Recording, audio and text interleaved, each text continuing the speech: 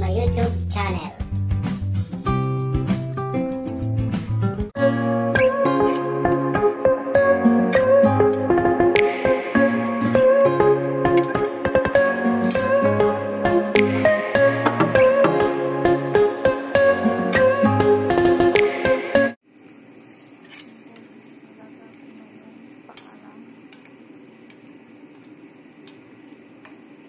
Igisa ko yung paa ng chip guys.